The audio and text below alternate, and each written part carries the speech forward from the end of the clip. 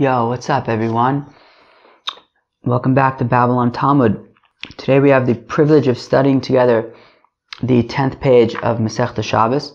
I know that yesterday I referred to Masechta Shabbos as Masechta Brachos, although the interesting thing is that there's actually a lot of stuff, a lot of references today from like Masechta Brachos kind of things, or even yesterday, right, with Tfilas HaMincha and stuff, so maybe I wasn't totally incorrect in calling it Masechta Brachos, but let's just say on the surface I was incorrect. All right. Um, today we're continuing to riff on like what the Mishnah got started with yesterday, with um, uh, if you inter- have to interrupt for like mincha and things like that, and then we get onto some kind of agaditas, almost like brachas kind of vibes. Um, yeah. So without further ado, let's um, let, let let's move on. All right. So we're gonna start in Daf uh, Tes Amud Beis, two, four, six lines from the bottom. Uh, Amar Abai, Hani Chavin Bavloi. Okay, so our friends in uh, Bavel, right? So yesterday we said that in Bavel, they when they would start their meal, they would um, loosen their belts, right? So our friends in Bavel, Lamanda Amr Tfilas Arvis Rishus, okay?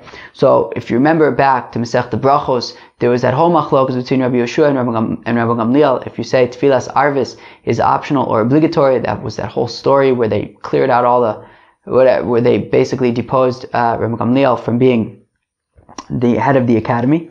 So according to those who say that uh, Mariv is optional, so Kevin the Le'em Yone Lo Mutachinan Le. So then once already they uh, loosen up their belt, and at that point it's considered that they've begun their meal.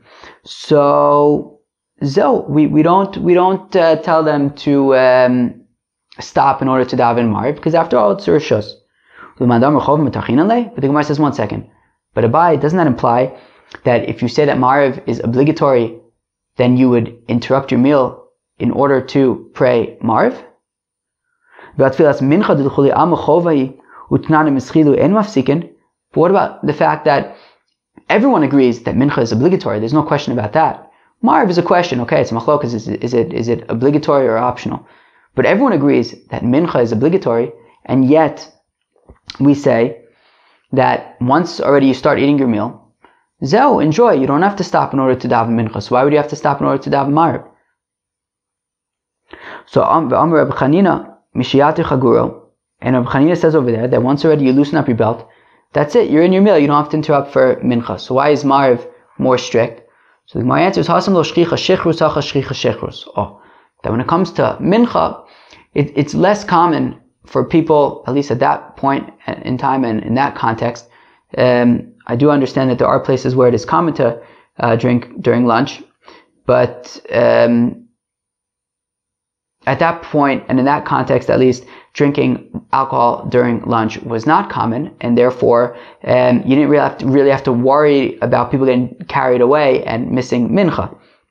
So if you already started eating, you can, you can continue eating. But But at night, it's more common to drink alcohol, right? Maybe to have some wine or some beer with your dinner, um, and therefore, who knows? You maybe maybe you'll get a little carried away, and you might miss marv. So we say. Um, even once you've begun your meal, you should interrupt your meal in order to pray Marv. Inami, or else. B'mincha, kevin de kviyale zimna mirtas v'lo asya lemifsha. Arvis kevin de chule man arvis lo mirtas v'asya lemifsha. Right? Um, there, or you could say that when it comes to mincha, there's like a, a pretty well-defined time for praying mincha, right? Mincha, right, you could basically, the earliest you could pray mincha is six and a half hours into the day, and it goes until 12 hours into the day. Whereas Marv, it's basically like, you can pray Mariv anytime at night, all night. So because it's less well defined, you know, it's more common, we're more concerned that you're going to say, like, oh, whatever, I'll just daven after my meal. And then maybe you'll go and like, I don't know, nicht, watch some kind of television show or something. And you'll be like, okay, wait, I'll just daven Mariv after that. And then the next thing will come and keep on pushing it off and you might, you might end up missing it. So therefore, we say, whatever you're doing, stop and pray Mariv. Maska Fleur of Sheshis. Rav Sheshis asks the question. He says, one second. First of all, Shrichusa the Mesa Yane, I don't understand. We're saying that once he opened, once he loosens his belt, then he's ready in the meal, and too late, he loosened his belt, he, you know, that, that, that's it. He doesn't have to daven mincha anymore, or marv, whatever it might be, if you say it's rishus. Like, I don't understand. Is it so hard to freaking close your belt That it's like, no, he already went through all the effort of like loosening his belt. That's it. We're not going to make him tighten it again in order to, to pray. And also, if it's such a big deal to freaking, you know, close your belt, so then just pray with a looser belt. Who cares? So the Gemara says, well, there is a reason why not to pray with a loose belt, because Mishum Lekachisel. It says, prepare yourself before your God, Israel. Um, so therefore, we don't want you to just pray with the, with the, you know, with your eyes and falling down.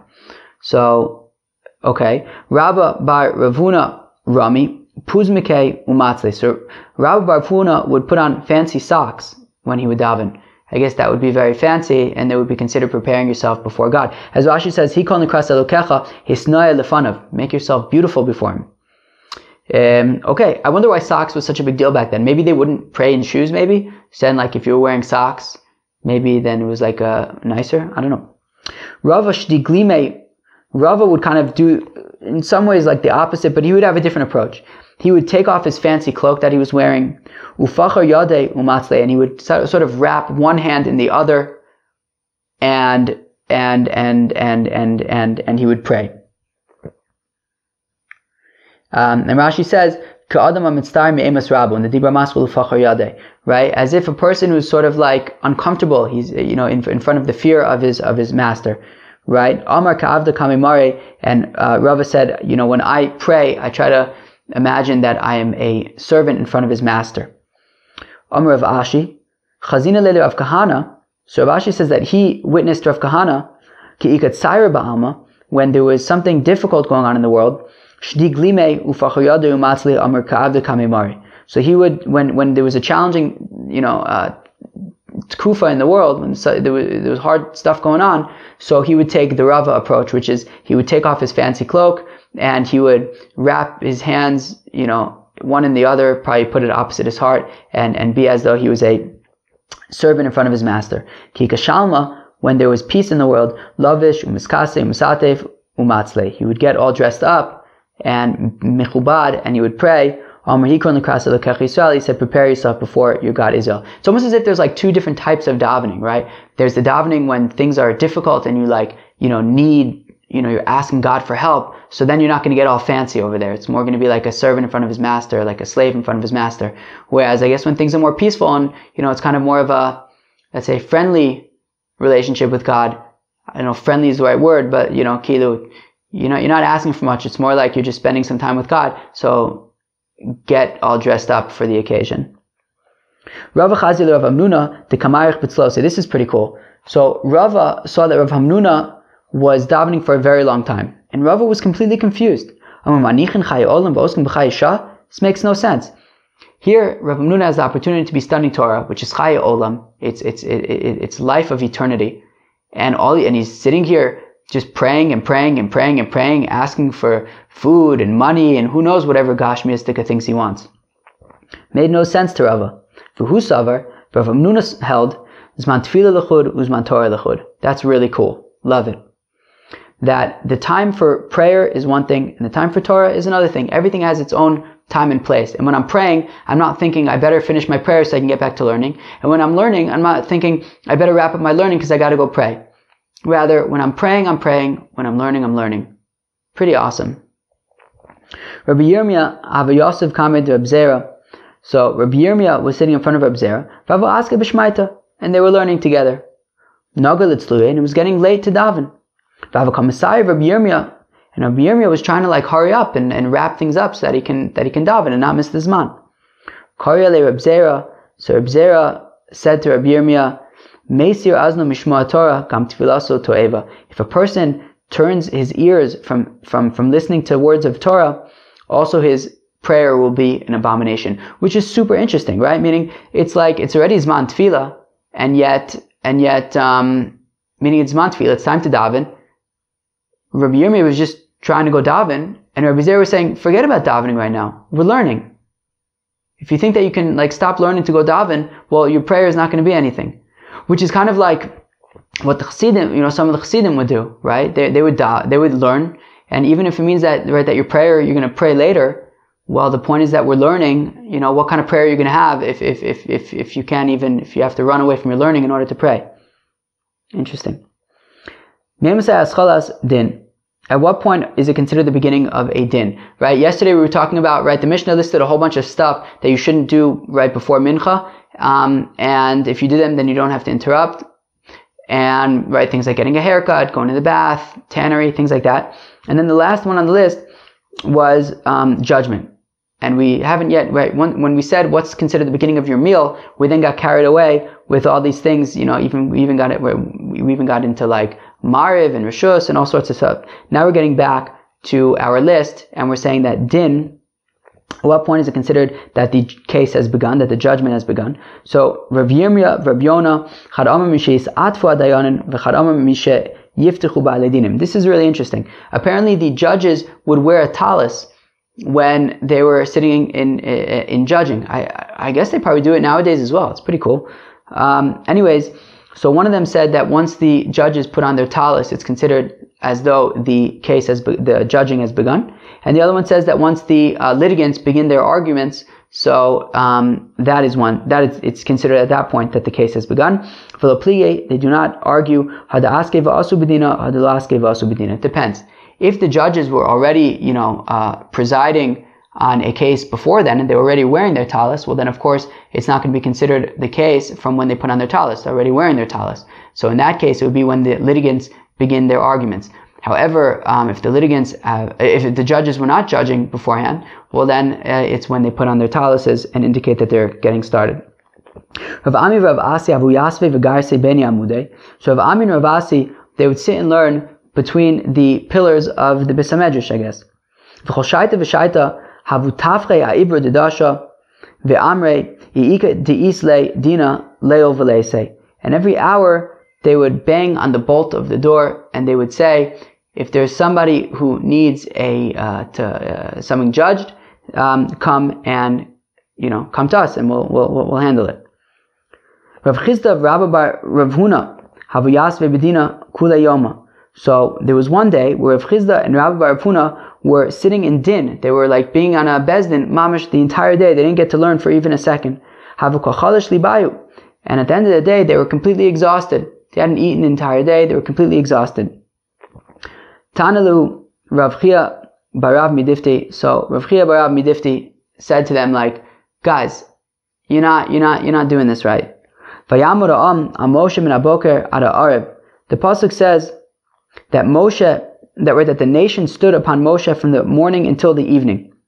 Right? That Moshe, right, with Yisro, right? So that Moshe would, was basically taking care and judging, presiding upon the Bnei Israel all day, from the morning until the evening.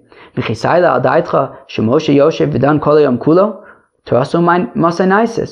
really think that Moshe Rabbeinu was just, um, you know, judging the entire day from the morning till the evening? When do you, when when did he have time to learn then? So, Elalomar Lach, to say to you, Kol Dayin Shidan Din Emes La Amiso Afilu Shoha Achas Ma La'alav Akasav Kilunaisa Shutuf LaKadosh Baruch Hu B'maisa Bereshis. No, when it says that Moshe was judging, presiding over the nation from the morning till the evening, all it's saying is that morning and evening, right? What, is, what does the Gemara say? Right? When it says morning till evening, it doesn't literally mean that he was presiding over them all day. It means that he was that um, it says right boker and erev just like it says by Maisa Bereshis by erev by voker right? To say that any, any judge who even judges uh, a, a, a, case truthfully even for one minute even for I guess one minute or one hour it's keilu he's a, he's a partner with the Abishter in creating the world. Very very cool. Admasa Yoshvim Bedin. So now until so okay fine. So we said you know that that that uh, you shouldn't be judging all day long, right? Because um, it's too much. You know, we, we saw that uh, that right, that um, Rav Chisda and Rabbi Bar Huna judged all day long, and, uh, and and and by then they, they they they were spent by the end of the day. So how much time should they put aside for judging? At what point should they then say, okay, come back tomorrow, we're going to go learn? So Amr of Sheshes Adzman Suda.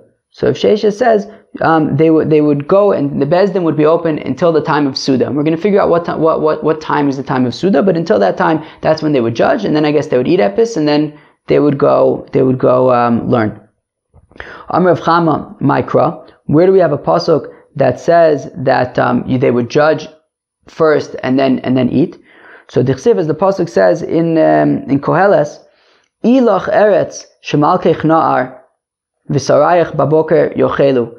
Woe is to you, a land that your king is, you know, acts like a lad, like a child, and your and, and the officers eat in the morning when they get up. Ashreich, is it Ashreich or Ashreich? Ashreich eretz shemalkech ben chorim v'sarayach ba'es yochelu b'gvura v'lo b'shisi. Right? Uh, um, happy are you, that, um, and fortunate are you, a land that your king is the son of uh, wealthy people, right? I.e., that he doesn't, you know, it's not all new to him, right? It's not new wealth that, like, you know, he's spending on himself and, and being corrupt, right? Rather, he's, you know, he, he, he, he's more, uh, um, I guess, deliberate in, in, in, in his ways. And the officers by Ace Yochelu, they eat at the proper time, right? They don't just immediately get up and, and fress and eat right? Rather, they get up, they take care of what they need to take care of, and then they eat later. Bigvura below right? They're taking care of things like, you know, making big decisions like about wars and, you know, all sorts of governing things. And then, right, and then they eat velo and not, you know, with uh, just drinking too much wine and partying.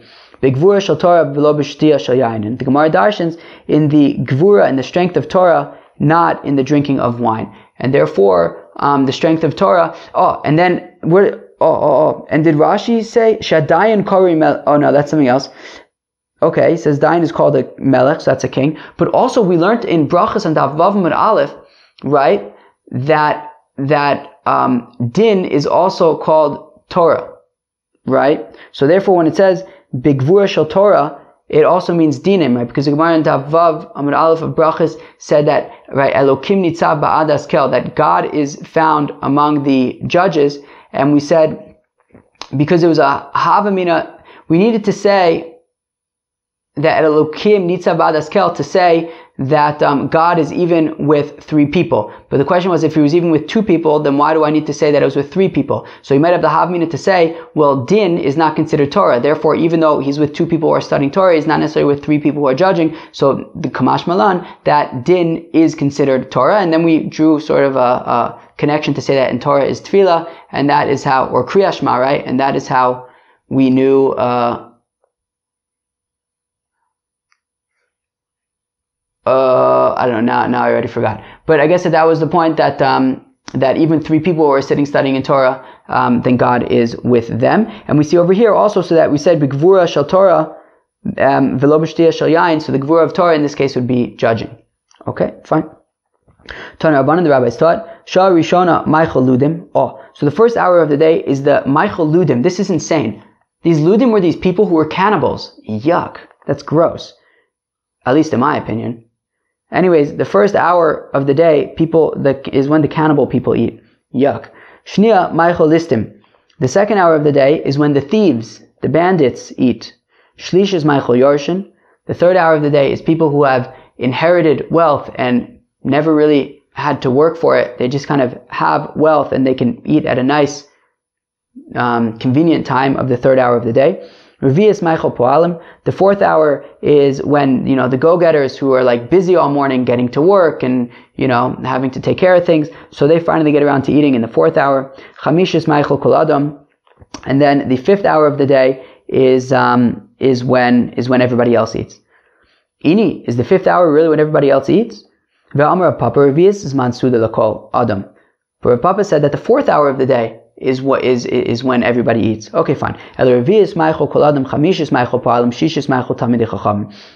the fourth hour of the day is when everybody eats. The fifth hour is when the workers eat. The sixth hour is when the Talmidei Chacham eat. So I wonder if so if maybe when Rav Shesha says that they would judge until there's Mansuda, assuming that they're Talmidei Chachamim, which I imagine that well, which definitely Rav Chisda and Rabbi Barafuna were. So maybe it means that they would judge until uh, the sixth hour of the day. Okay. Mikan ve'elech kazorik lechemes. However, if you eat after the sixth hour of the day, it's like you are throwing a stone into a um, pitcher of wine. And actually, the Masoris Hashatz explains that this means that if you have like a container of wine and it's not completely full, so if it's not completely full, then I guess the oxygen is going to cause the wine to oxidize, and become vinegar. So what you do is you actually throw a stone into the wine in order to fill up the container so that it won't oxidize. Um, however, when you do that, um, the, the, the, the, the um, stone is, you know, the wine isn't going to be as high quality as if it was just completely filled with wine. And the same thing over here, right? If you throw something into your body after six hours when it's empty and you're just there to fill it up, so it's not going to be as good as if, you know, there already was you know, the best thing would really just not be to throw something into an empty body, but to kind of keep it full. Um, now this a, metaphor of throwing a stone into an uh, into an empty um, container is only if you have not eaten anything in the morning. But if you've eaten throughout the you know in the morning, then there's nothing wrong with eating after six hours. Okay. Amar Rav Barahava says the holy Rav Barahava. A person is permitted to pray in a shvitz, in a, in a bathhouse. Now, in order to understand this Gemara, we have to understand the, how the bathhouses worked back then, at least according to the way that Rashi describes them. So there were basically three rooms. There was an innermost room, a middle room, and a, and a first room. So the first room is where you would get there, and then I guess you would strip down to your underwear. Then you would go into the next room and you would get completely, completely naked. And then you would go into the third room, and that's where the schwitz was, and that's where all the fun schwitzy kind of things were, like the hot the hot pool, the plunge pool, the you know all that stuff, the schwitz, the plaza. Anyways, so so so that's how it would work. Now, so therefore, in the first room, everyone was wearing clothes. In the second room, some people were wearing clothes, some people weren't. In the third room, nobody was wearing clothes. Okay. So now, Ravada Barahava says you're allowed to pray in a bathhouse. Now, the assumption being in the third room, where everyone's naked. Meisve, we have a kasha. If somebody enters into a bathhouse, Makom Shabni Adam Omdin Levushin, so if it's a, the first room where everyone's wearing clothes, so Yesh Sham Mikra Utfila, you're allowed to, um, you know, study Torah, you're allowed to, well, generally that's like verses of Tanakh, I guess. Um, you're allowed to pray over there. Shalom, certainly you could say shalom to your friend. And we're specifically referring to shalom because as we're going to find out on Amud Beis, shalom is one of the names of God.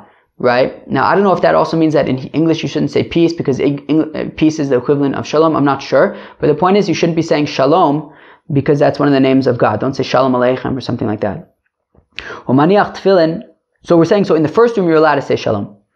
So umaniach tefillin, you could put on your tefillin over there. And certainly if you come into the first room already wearing tefillin, you don't have to take them off. In the middle room where some people are wearing clothing, some people aren't. So yesh sham she'elas shalom. So you're allowed to stay, say shalom still, but ve'en sham mikro tefillah, but do not, you know, study Torah or pray. If you're wearing tefillin already, you don't have to take them off. However, but you shouldn't be putting on tefillin lechatchila. Makom Shabni Adam Omdin Arumim, but in the third room where people are standing naked, Ein Sham Sheila Shalom, you shouldn't be saying Shalom, Ve'ein Tzarech Lomer Mikro Tefillah, and certainly you cannot um, be studying Torah or praying, which were already not allowed in the previous room. V'choletz tefillin, you have to take off your tefillin, ve'ein tzarech lomer she'enu manichan, and certainly don't put them on the chatchila. So we see that in the innermost room, you're not allowed to pray. So why is Rav Barahava saying you are allowed to pray? So Kikam Rav Barahava, B'merchat she'en bo adam. So Rav Barahava is saying you're allowed to pray in a um, Beis HaMerchatz, in a bathhouse that doesn't have anybody in it.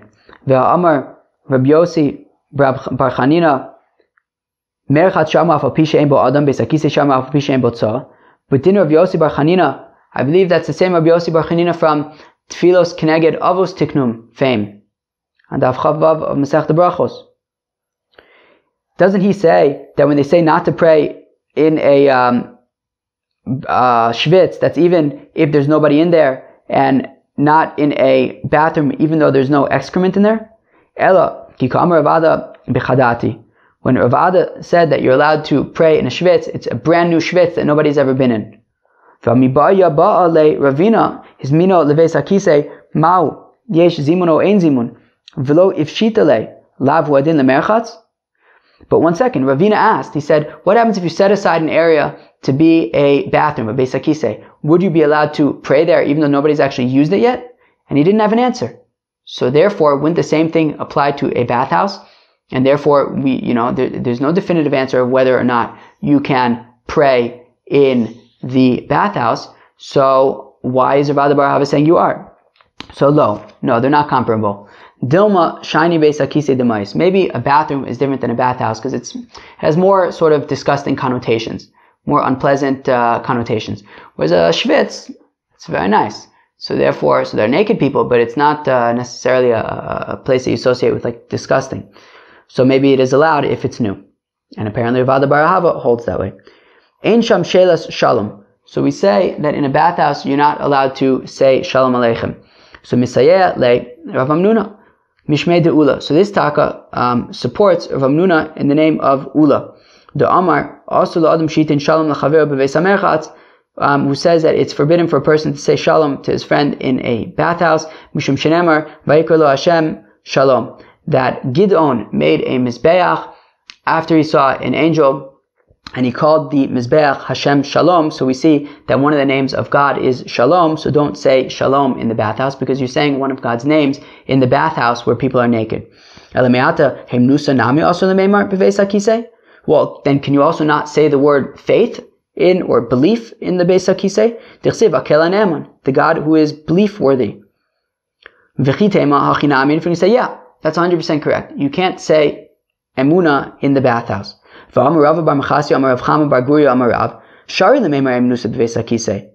are allowed to say emuna in the Beis HaKisei.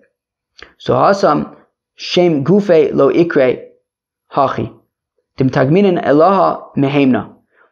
Hakela Ne'eman is not saying that God's name is Ne'eman. God's saying, it's saying that God is Ne'eman. God is, you know, trustworthy. But he's not saying that God's name is Ne'eman. Hacha Shem Gufe Ikre Shalom. Here, God's name is actually Shalom. Tichsiv, as the Pasuk says, Vayikalo Hashem Shalom. He called him Hashem Shalom, i.e. God that is Shalom. Therefore, we don't say Shalom in the bathhouse.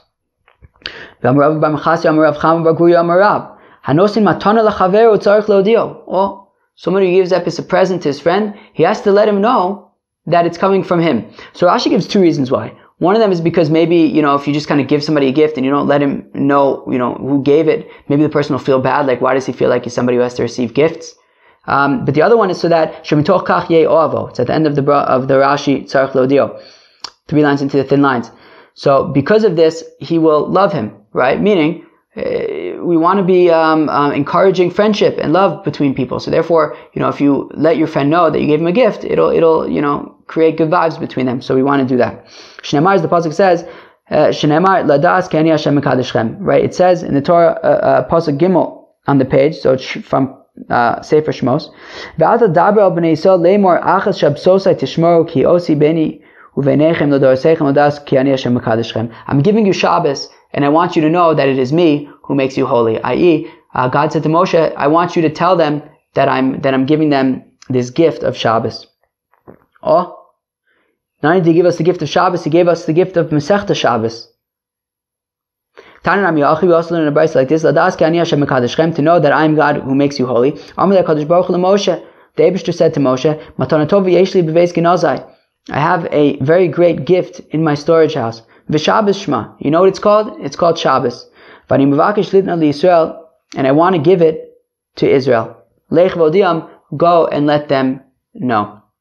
Mikana Reb Shimon Gamliel, and from there Reb Shimon Gamliel, from here Reb Shimon, Gamliel said, Hanosin Pas Latinok this is really interesting. it's interesting to things to, to, to see how things have progressed over 1500 years. That I guess 1500 years ago, it was still okay for a stranger to give bread to a little kid.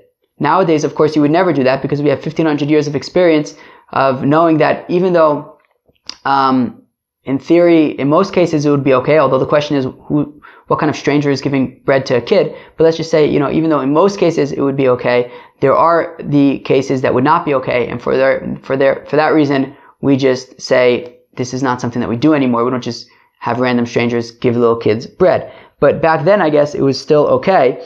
Um, so if a um, benevolent um, adult gives bread to a little kid, he should tell his mother, um, you know, in order to create good vibes. Although it's interesting because Rashi said, right? One of the reasons for giving a, a gift is that uh, they will it will it will it will encourage love among each other. But I don't know why he necessarily wants to encourage love with this kid's mother, um, unless it's love that's permitted. In any event, my avidle, how exactly are you going to get the message across to the mother that you gave her child bread?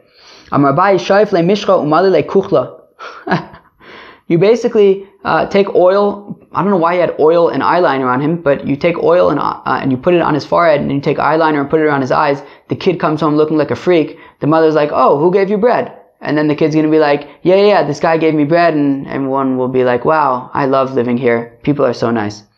What about nowadays that we have to be concerned that if a kid comes home with eyeliner and um, um, oil, we have to be concerned that maybe some witch kind of spooked him. So maybe it's not such a good idea to, do the whole eyeliner and oil thing.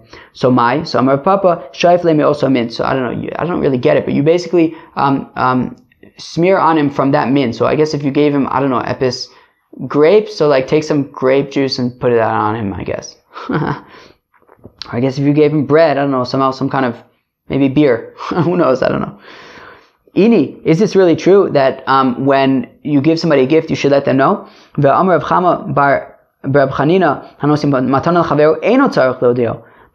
Chanina said that somebody who gives um, a gift to his friend doesn't need to let him know. Shinamar, as the pasuk says, "Moshe lo yada panav Moshe had no clue that when he came down from the mountain, his face was shining with light from God. I.e., God didn't tell him that he gave him this gift of radiance.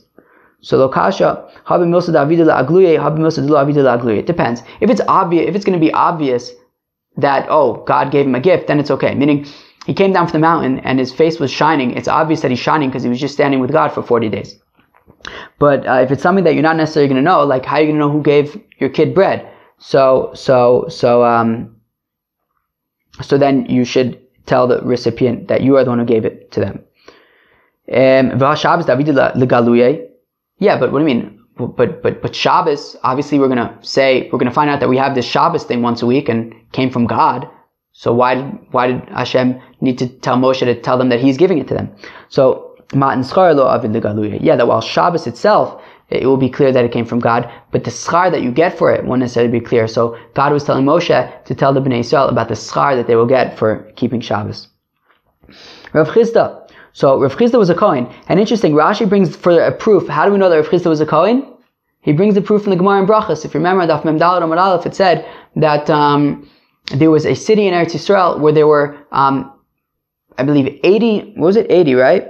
Yeah, there were 80 pairs of sisters that were Kohanim, to, or Kohanos, married to 80 pairs of brothers who were Kohanim. And in Bavel, they mamish looked all over the place, and all they were able to come up with was the two daughters of Rav Chisda, who were married to Rami Barchama and Mar Ukva Barchama. And even though Mar- Rami Barchama and Mar Ukva Barchama were not Kohanim, but the daughters of Rav Chisda were Kohanim, so Kohanot, right? So clearly Rav Chisda was a Kohen. So now, there's a halacha that when you shecht, I don't know if it applies to any animal, but definitely an ox. So when you shecht an ox, you give the zroa lechayim vikeva to a kohen. It's what's called the matnos. I think that's what's uh, whatever. You get these matanos to the kohen, right? And that is the um, the cheek, the um, arm, one of the arms, and the stomach. You give that to the um, kohen, and then the kohen can do whatever he wants with it. Now, I'm not sure what the lach is nowadays, um, but in any event, Rav Chisda, even though Rashi points out, even though Rav Chisda was living in Bavel, so it might imply that not, that applies nowadays. He says it's not so pashut. So I, I, don't know what the halach, I don't know what, what the halach is halach lemaisa, but lemaisa, but there is an Indian that whenever you shecht an animal, you give the zohar l'chayayim bekeva to a kohen. So if Chisda avanakid biyaditarte matanta de Torah. Rav Chisda was holding, um, you know, two different people gave him shechted an animal and gave him the matanos, these gifts, um, and he was holding them. And Omar, he said, Commando Asi Omar lishmait sachadata mishmei derav yuhevnele niale. And Rav Chisda said, look, if anybody can come and tell me um, a chiddush that I've never heard before in the name of Rav, because Rav was his teacher, right? Rav Chisda is often, often quoting Rav. So, so if somebody can tell me something new that I've never heard of from Rav, I'll give you these gifts that were given to me, I'll give them to you, because he can give them to whoever he wants. That's not the case with Truma, but it is the case with these matanos. Amalei Rava bar Mechasya, so Rava bar Mechasya, who keeps on saying stuff on this page, he came to Avchis and he says, look, this is what Rav said. Somebody gives a gift to his friend, needs to let him know. Shenamar, as the pasuk says, to know that I am God who made you holy. And sure enough, Rav Chisda is like, that's awesome. And he gave him these gifts. To which um, Rav, uh, Rav Bar said, wow, you like really love teachings from Rav so much that you're willing to give me the, all this meat? Amalei in. He said, yeah, yeah, yeah. I'm, Amish. I'm crazy about teachings of Rav. I, I just want to learn as much as I can. Uh, and yeah, I'm totally happy to give away some meat in order to learn something new from Rav. Amalei. So, um, Rav Bar Machasi responded, wow, Hanu da Rav, this is, you know, what Rav said. Milsa al Bishayu Yakira. That a, a garment, a coat, um, is very valuable to he who wears it. So like your coat is not so valuable to me. I don't own it. I have my own coat. I don't really care that much about your coat. But my coat is very valuable to me. Maybe I like it. Maybe I like the way it looks. Maybe I, it's a status thing. Maybe uh, just it simply keeps me warm, right? But but but the fact that it's my coat, um, I care about it. So here also, Kilu, wow, you're a student of Rav. Therefore, you're crazy about the teachings of Rav. Amalei, Rav Chisda said to Rava by Machasya, Amar Rav Hachi, Rav really said this? Wow, that's amazing. Wow, I actually like the second statement of Rav that you just said even more than the first statement of Rav, which was clearly um, awesome enough that I gave you these gifts. And he says that if I would have had more gifts to give, I would give them to you. The Olam Yishana Adam Bino Min Abanim, Shebishvil Mishkal Shnei Milas, Yaakov Yosef, Yosef Misharbanav Niskanu Bo Echav Niskal Viardu Avusenu Limitzrayim.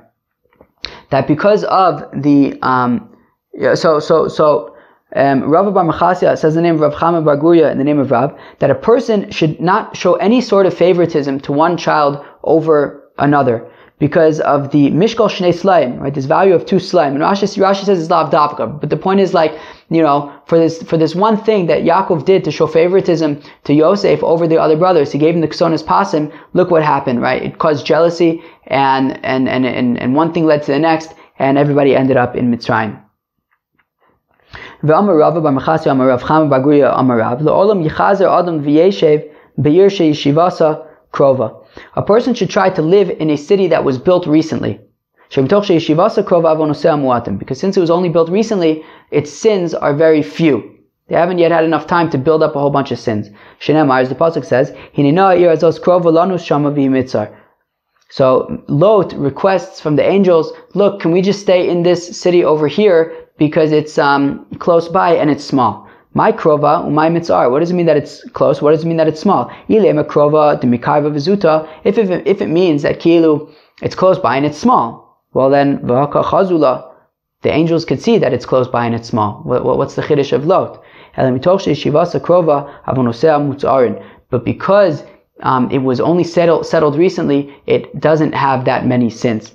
Amar Rabbi Avin, Maikra, where do we see this in a pasuk? Tichsiv imalta na shama, right? Lot says, I will please run over there. Na, bigamatria chamshin v'chad na, nun aleph in gematria is 51, right? V'shel Sdom, nun bez. And Sdom was 52 years old. So it was one year younger than Sdom.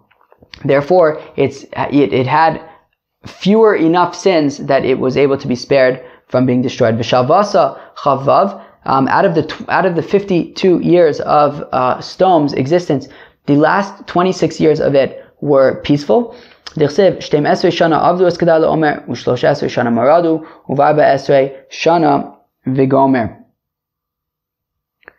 Um, so, so it says that Sdom were enslaved to um, Kedar Omer for 12 years. They then rebelled for another 13 years, right? And then in the fourth year, the 14th year is when uh, they had the big showdown, and Avram got involved and, and, and that's when they defeated Kedar Omer and they got their independence. So that was 12 years of slavery, essentially 14 total years of rebellion, which is 26, um, and which means that there are another 26 left until it was destroyed, um, and it was destroyed in 52 years. Okay, awesome, friends. Geschmack. Um, so yeah, we just got into a bunch of like uh, agaritas there at the end, almost rem- almost reminiscent of brachos. very different from the first, uh, uh, the other initial dapim in Shabbos, which were um, much more uh, involved and complex. Over here, there was like, uh, so yeah, man, this Gemara thing, it's mamish like, uh, it's mamish like uh, uh, an ocean, you know, with the ups and the downs, and you know, one daf can mamish be like, you know, Rishus Harabim, Rishus Hayachid, Mavui, Lechi, Chotzer, Yud Tfachim, Dalet Tfachim, messing up with Al Ramis, and the next one is like, you know, Agadata is about giving gifts and judges being like they helped out the, the Abishter in creating the world. But mamish, mamish, it's, it's mamish, the jumping into the ocean of, of, of, of, of Gemara, which is what makes it uh, such a, su, su, su, such an amazing thing. So thanks everybody for, for joining along and uh, I, I look forward to seeing you tomorrow. Peace out, y'all.